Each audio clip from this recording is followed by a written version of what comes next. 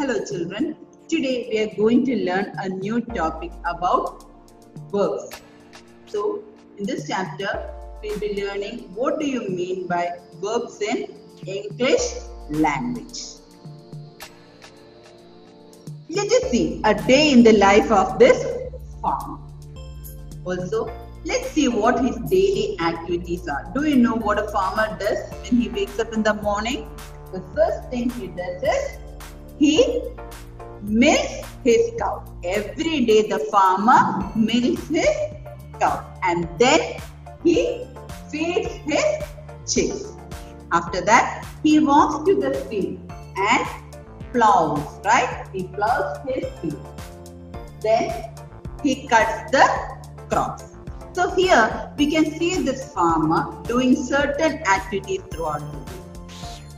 There are certain words here which describe the actions of the farmer. Or those words tell us what the farmer is doing. Such words in English language are called verbs. So what is a verb? A word that is used to describe an action is called a verb. Verbs are otherwise known as doing word. So verb is an action word or a doing. So let us see different examples for verbs. We can see the farmer milks his cow. Now what is the action word here? Which word is describing the action of the farmer? Milk. That's right. So milk describes the action of the farmer.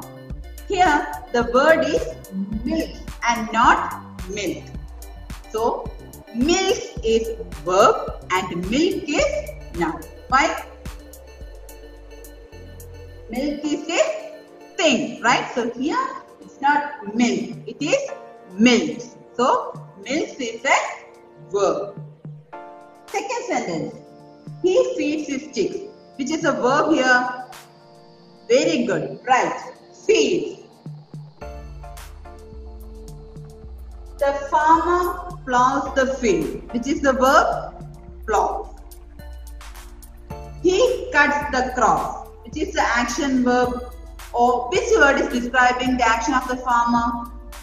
Cuts. That's right.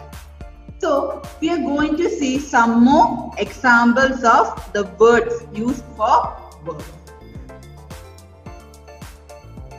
So now I'm sure you can point out the verb in the sentence. Remember, verbs are action words. Anything that describes the action of a person are called as verb. So you are going to help me to point out the verb in the sentence. So the first one.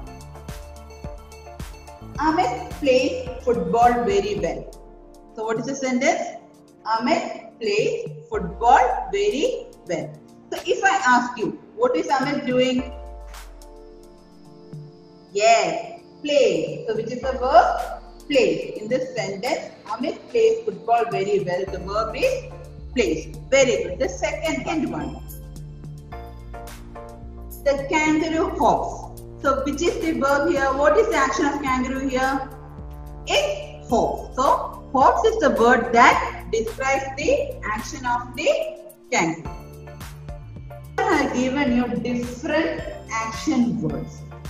Now all through the day we all perform several actions. These are some of the actions that you perform across the day. These all can be described as verbs. These are some of the actions that grown-ups do. Let's see. My mother cooks tasty dishes. Which is a verb in this. Remember, verbs helps to describe what you are doing. So, my mother cooks tasty dishes. The verb is good, cooks. The second sentence. Mr. John drives the car slowly. Which is a verb in the sentence? Drives. Mr. Joe cleans his house daily. Which is the verb in the sentence? Which is the action that your job is doing? It cleans. Yes? So now you know verbs are action words. Now, let me ask you, why are we studying verbs? Well, we are studying verbs because a verb is a very important component in a sentence.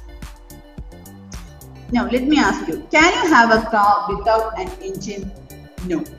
A car can never run without an engine. Similarly, you can never have a sentence without a verb. A sentence will make no sense if there is no verb in it. So all sentences that we read, write, hear or speak have one or more verbs in them. It's not possible to make a sentence without a verb. A verb makes a sentence complete. So let's just summarize what we learned today. Today we learned about verbs. So what are verbs? Doing words or action verbs. These verbs are used to describe an action. Any type of action in a sentence is called as a verb. A sentence is not possible without a verb. It's a verb that makes a sentence complete.